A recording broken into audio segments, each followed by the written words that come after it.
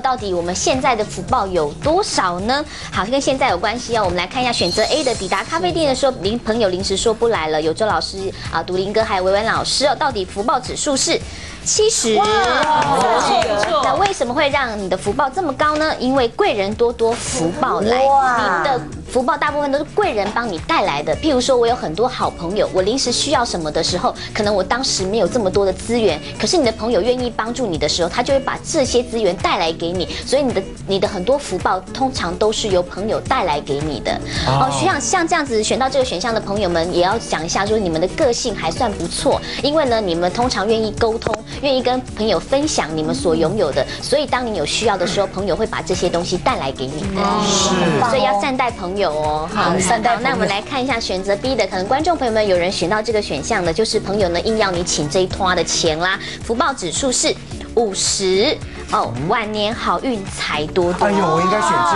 个。选到这个选项，代表是你现在拼命的在付出，你就不会选这个啊？你在付出你的那 不会啦。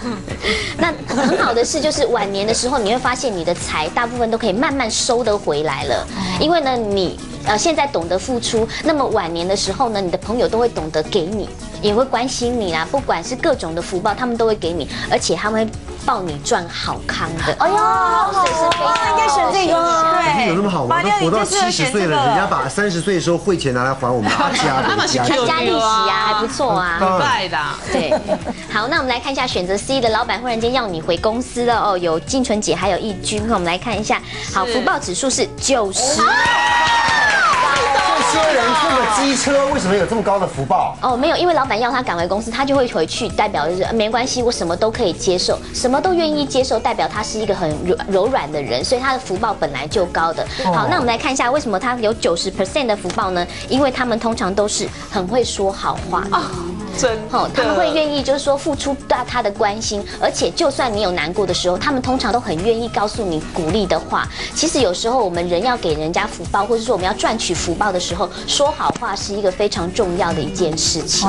懂得说好话，对对对，他就很棒，要懂得舍得，有舍才有。好，那我们来看一下选择完了完了，我没福报，有不要这样想，好不好？福报指数是二十啊？为什么？为什么？为什么？努力做好事赚福报，他们现在一直在付出。他们的福报给别人，所以他们拼命的在做一些好事，哦，希望把自己所有拥有的就给别人了。所以你不要说呃选到二十的是不是没有福报，而不是他们觉得这些东西留在自己身上，其实对我来讲没有什么多大的作用，我留着也没有用，所以我把我有的能量付出去给别人。所以讲实在话，选到这个选项的人，你只要要求他说，譬如说马年我现在就是生病了，我希望有个人陪我去看医生，你可不可以陪我去？他一定说会，我马上去。你在哪里？所以选到。这个选项的人不代表说你是一个没有福报的人，而是代表着你现在把你现在身上所拥有的能量跟福报，一直贡献在你的家人身上，或者是你身边的亲朋好友身上。所以不要担心说你现在没有福报，而是你现在都把你的能量给别人了。放心，你以后会拥有非常多的能量回来的。我我是觉得，像马妞从从从上一从那个冯光荣那个哦那个讨债鬼离开之后，哦，真的到现在一直都没有交男朋友，大家都想。帮你介绍，对，还想帮你相亲，方文也要帮你介绍，可是你都不要，你现在是为什么？你不敢交？没有，我觉得应该是这样子，年纪大了我们不敢要，不是我的年纪大，是我不要年纪大的。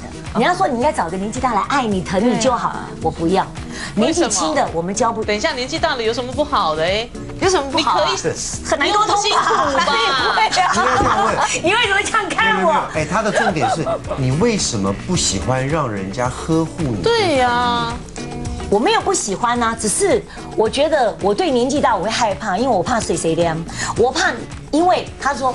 我吃的饭比你走的路还多，我不喜欢倚老卖老，所以因为我自己的主见比较强，所以我很怕那种你也知道，当年纪比较大，在社会上有地位的人，其他主观意识是比我们强的。那你这样可以教年纪轻的话都抢着说完。对呀，那年纪轻的我们又玩不起，因为他还可以再玩，我们玩不起，所以干脆就不要玩。可是我现在很就就是说，有时候大大家聊天的时候问我说，会不会希望有个人来疼你照顾？我说我很希望，我非常希望，但是我觉得。哎你说，你说你希望人家疼你、照顾你，你希望他用什么样的方式是你可以接受的？那门槛在哪里啊？门槛啊，哎，没有门槛哎，好像没有。但但是他是外貌协会啊，我自己知道，我自己知道我有这个问题，我有这个问题，所以年轻的我就又不敢，年纪大的。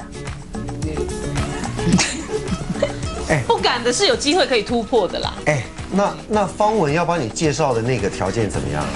方文说：“你管他什么的，先来聊聊，OK 再说，不 OK 就走。你连聊都不跟人家聊，因为我连聊都不跟人家家事什么都还不给自己机会啊。说家世不错，那男的做什么的？呃，好像方文介绍的不会差，对，不会太。你知道方文介绍的男孩子都条件不错，因为他自己就很挑，对他自己又挑。那我就说不要，吃个饭而已，不要。”对呀，讨厌怪他。那你只适合去网络交友哦，我也不赞成。我要看不到你的底，我干嘛跟你交友？所以说他这个人是不是真的非常？对，所以我就现在，我妈妈一直跟我讲，所以我我有小孩这个部分我已经不怕，因为我弟弟妹妹都有小孩，我还蛮疼他的。我会带他们去溜冰，我带他们去看电影，会迎合他们。但是我觉得。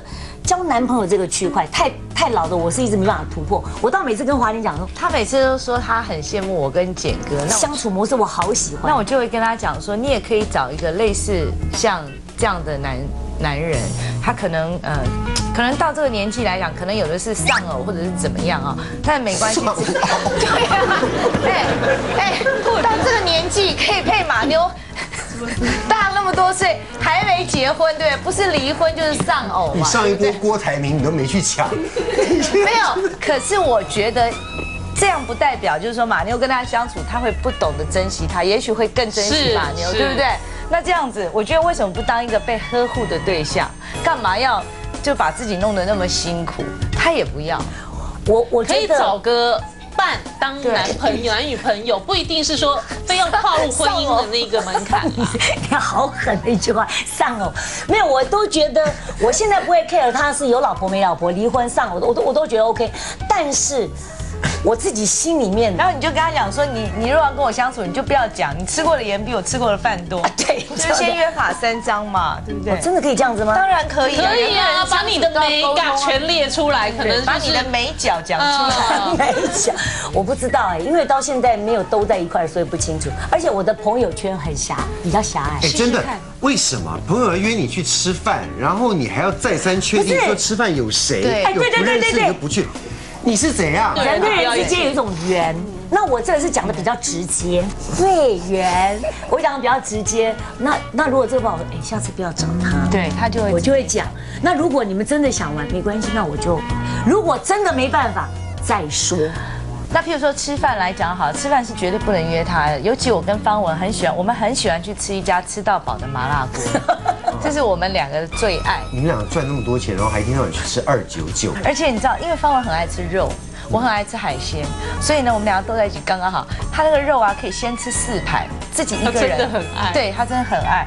那所以我们两个都很喜欢，那我们就想说，我们每次都吃这么好吃的东西，一定要找马妞来一起吃，所以我们就叫他。后来我才发现，找他去吃东西，尤其是吃到饱，绝对不能约他。找我，他大概因为我肉半片肉，对对，然后呢，大概喝了一点汤，他最喜欢吃蛋。所以他就煮了一颗荷包，就煮了一颗那个蛋放下去煮，有没有？煮完捞上来吃，就说我吃饱了。不然你带他去吃六九九，可是因为朋友，我觉得一九九都很浪费。电视机前面有丧偶，不是，就有单身的男生哈。这个马妞就是属于那种又要马儿好，又要马儿跑，然后他还真的就不吃草。对，你知道吗？不管是丧偶还是单身，他真的很单纯，可以考虑。你今天在帮我干嘛？相亲呢？好，周老师哦，来帮我们看看什么样面相的女人哦，只有靠自己才能够得到幸福啦。那我们现在来看哈，就是说，哎。